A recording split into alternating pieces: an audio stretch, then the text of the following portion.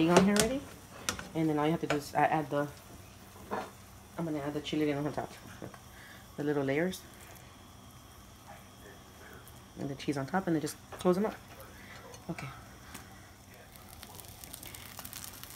Cheese, more cheese. Then, okay, and then now this a little bit of the egg that's left on top. And stop. See how they all got the chile relleno look now, but they're like little individual little omelets, kind of. And just the sauce is right here. We're just gonna blend it right now and pour it in here.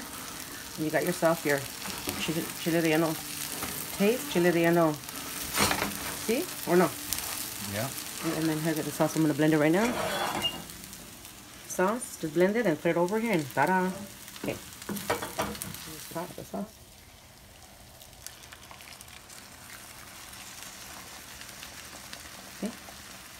How hard is that?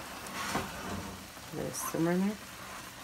And add salt taste and that's what you have. bro what do you have? Chile relleno.